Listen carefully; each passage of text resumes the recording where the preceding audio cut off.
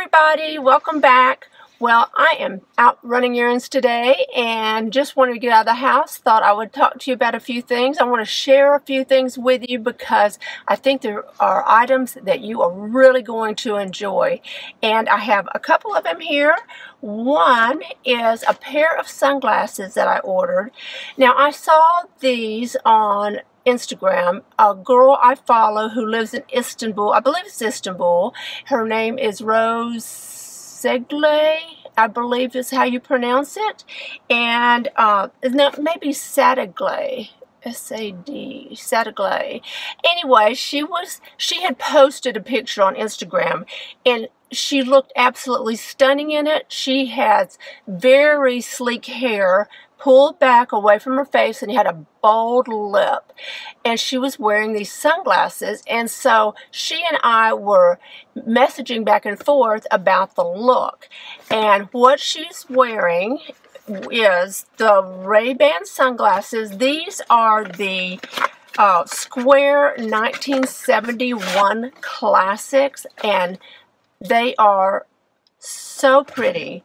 They're, these are gold frame and they have the brown gradient lens, a 54 millimeter lens. And look at this. Aren't they gorgeous?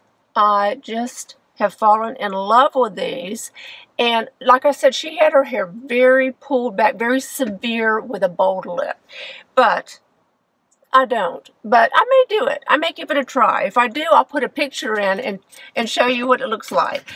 But uh, I ordered them and I just love, love, love, love them. They come in this case. It reads uh, 1971 square. How about that? And that is something I think you might enjoy. I have also ordered a few things from Lululemon. And I love Lululemon clothes. They're, they're so easy to wear to run errands or, or just be around the house. And I wear them quite often, especially since we're not getting out quite as much as we were. And I have ordered this is the the Power Y Tank Everlux. And the color, let's see if it says on the tag here. It's supposed to be incognito camo. I was told it was a gray camo, and to me, it is gray, mind you that, but it has the teensiest hint of lavender in it. I don't know if you can see that, but this is the Power Y tank. And I love the Power Y because you don't have to worry about the straps falling. And I liked it so much that I also ordered the the uh, Define jacket in the same color. And I don't know if you are familiar with the, the Define, Define jacket by Lululemon, but it's very body conscious and very flattering. So if you haven't tried it on, and you have a Lululemon close by, go in and try it on or order it and see if you like it. I have several of the Define jackets because I think they look so great with, I wear a lot of yoga pants because I practiced yoga for 14 years and have a lot of yoga wear. And so I just mix and match with this. But I am so in love with this camo. I'm not I never thought I was a camo person but there have been so many unique color combinations coming across that I am beginning to be a convert, convert to camo. Sorry about that. My phone dropped off of the rack and I have a mount that goes on the phone and it fell. But anyway, so now I think I might be a camo convert, especially with these new color combinations. And let's see, anything else? Uh, I hope you enjoyed our mountain trip. I loved being in the mountains because I don't see them very often. That's not something we usually do. And I enjoyed it so much. We've decided to go back soon and visit again. I have in-laws who live, actually have a mountain home in that area. And we did not go to visit them the last time we were out. And about in the mountains, but we um, we may soon. And um, I'll share a little bit of that with you too. I don't know how many of you like the mountains and how many of you travel right now during everything that's going on, but we just decided that we needed to um, get out and do something new. And that's what we chose to do because we could be in the car. So you're you're fairly isolated. Of course, you when you go to a restaurant, we always try to sit outside. You know, you do all the safety things. So we did that and enjoyed it. And I hope you enjoyed the little video I put together of that because I know a lot of us can't get out. We like to think of places we'd like to go to whenever we start traveling again. So uh, we just took the chance and went on. And it's so beautiful and it's autumn weather now. And so we are planning to go back because the leaves had not changed when we had gone. So we thought, well, we'll try. We tried, been trying to find reservations because this is the time of year when everybody wants to see those beautiful leaf changing colors, the oranges and the yellows and the golds. And so we are going to try it again. And you know, what the heck, we'll see what happens. And then also I want to tell you about a book that I read. Um, you might enjoy it if you like American history or you like keeping up with first ladies and fashion, of course, and because this is one of our most fashionable first ladies, and that was Jackie Kennedy. But it is about Jackie Kennedy and her sister Lee Radziwill. This is the fabulous Bouvier sisters, and it is fabulous. I really enjoyed this book. It was written by Sam Kashner and Nancy Schoenberger, S-C-H-O-E-N-B-E-R-G-E-R, and um, they did an excellent job as authors of this book. And there were so many details about Jackie Kennedy and Lee Radziwill that I, did, I wasn't aware of. Uh, they both lived very glamorous lives. So if you like reading about glamour and fashion and all those wonderful things that I do, then this is the book. Oh, my hand was covering the title. There we go. The Fabulous Bouvier Sisters. And it is a really a good read. You will enjoy that. And what else? I watched, oh my gosh, I watched um, HBO series. And I started to not watch it because, but I just, one day, I was trying to come up with another something that I could kind of binge watch, and I'd seen it advertised, and it is the it's, it's not the love fraud, it's love fraud. And as soon as I started watching it, I automatically did not like the main character. It's a true story. It is a documentary. It um it'll blow you away because this is about a man who woos these women.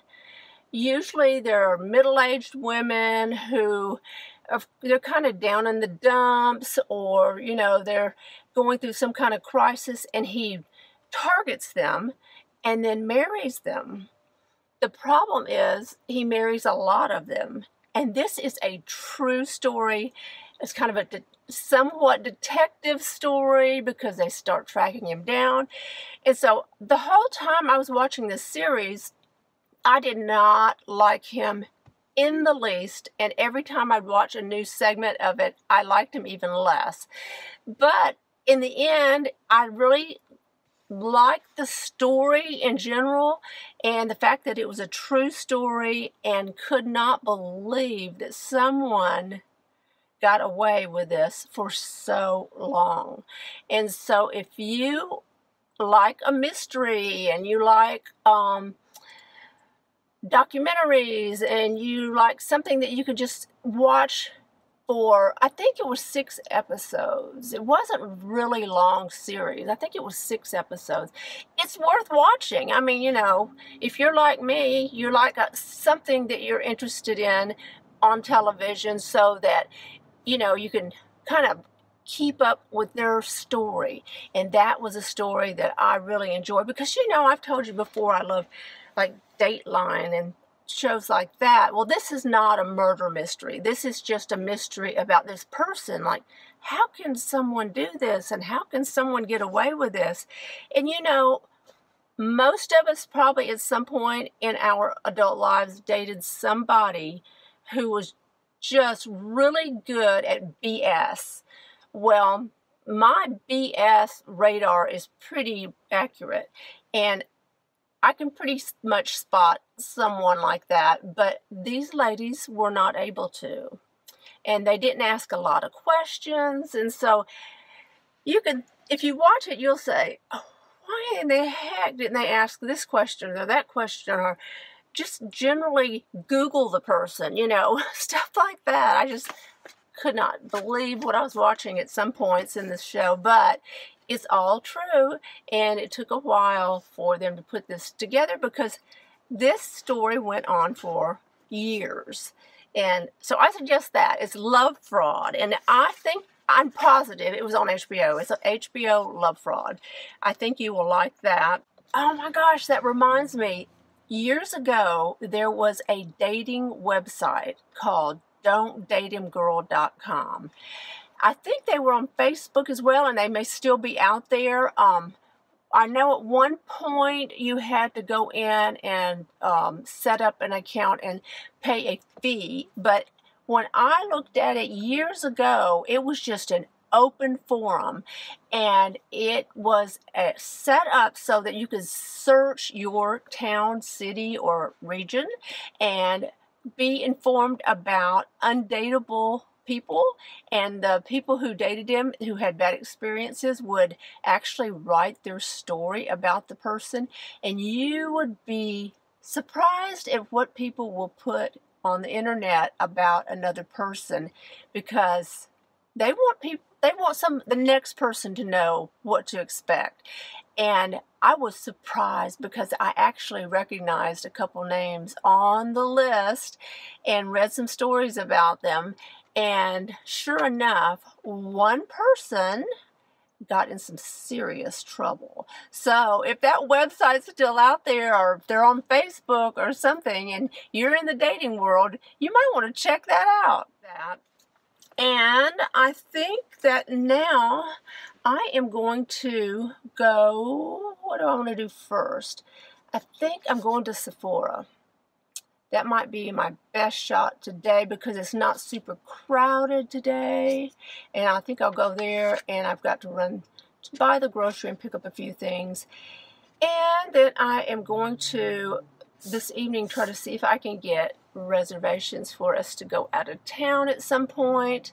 Don't know what days, what month, but if we don't go soon, the season for all the beautiful leaves will be over. But we may have waited too late. We may have made a decision too late in the year to do this because everyone wants to go at the same time and I think all the hotels are booked. But I'm to see what I can do and if I do wind up going back, I will post a lots of a lot of pictures maybe on Instagram and I might put together another video if something different happens because a lot of the times when you're driving through the mountains it's just so fabulous and beautiful, but when you video it, it it loses something in the filming of it. You can't you can't see the depth of the um, the mountain ranges. You can't see the bold colors at a distance.